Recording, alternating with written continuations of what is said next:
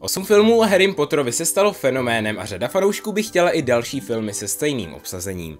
Kterým hercům se ale už v pokračování nechce hrát a chtěli by si někteří zahrát i v rebootu série o mladém čaroději? Odpovědi na vás čekají v dnešním videu, tak nezapomeňte na like a jdeme na to. Daniel Radcliffe neboli Harry Potter. Nezačneme nikým jiným než chlapcem, který přežil a zároveň i zklamáním pro řadu fanoušků. Daniel totiž v rozhovoru řekl, že roli Harryho Pottera si nechce zopakovat. Je totiž rád, že už není označován jen jako Potter, ale vzlíží se k němu i díky jeho jiným rolím. Kdyby ale bylo pokračování, tak by se nebránil rolím Siriuse Blacka nebo Rémuse Lupina, protože ty se mu líbily. Možná tak někdy v budoucnu uvidíme Harryho, jak hraje svého kmotra.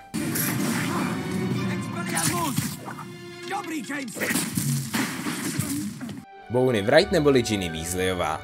Po Harrym se přesuneme k jeho ženě. Herečka Ginny sice řekla, že jí bradavická léta chybí, ale nechce, aby byly původní filmy přetočeny, protože podle ní se jedná o něco, co by mělo zůstat jako uzavřená časová kapsle. Do své role by se tak pravděpodobně nevrátila. Rupert Grint neboli Ron Weasley. Ani Harryho kamarád a bratr Ginny by si nechtěl zopakovat svou roli. Grint v rozhovoru řekl, že si nedokáže představit, že by se vrátil do role Rona, ale uvažoval by o tom, kdyby se chtěli ostatní vrátit. To se pravděpodobně ale nestane. Warwick Davis neboli Filius Kratiknot. Tento herec nehrál jen bredovického učitele kouzelných formulí, ale i skřeta Gribhooka. Na návrat má ale stejný názor jako Bonnie Wright a souhlasí s tím, že původní filmy by měly zůstat nedočené a do jejich přetočení by se tak nevrátil. Nezapomeňte na ten pěkný pohyb zápěstím, co jsme nacvičovali. Švihnout a mávnout. Tom Felton neboli Draco Malfoy. Ne všichni ale s reprízou své role nesouhlasí.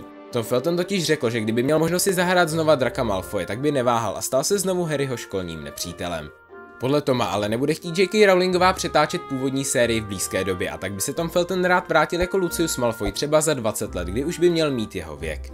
Stejně jako u Draka by neváhal ani chvíli, kdyby se ho filmaři na obsazení zeptali. Oliver Phelps jako George Weasley. Herec jednoho z dvojčat Weasleyových nesouhlasí s tím, aby se původní série přetáčela. Podle jeho slov stačí, že v rámci kouzelnického světa vznikají další odnože, jako jsou fantastická zvířata nebo prokleté dítě. Chris Columbus. Video uzavřeme slovem od režiséra, který měl na starosti první dva filmy. Ten stejně jako většina herců souhlasí s tím, že by se neměla původní série přetáčet a nevidí důvod pro to, aby se filmy podle knížek točily znovu.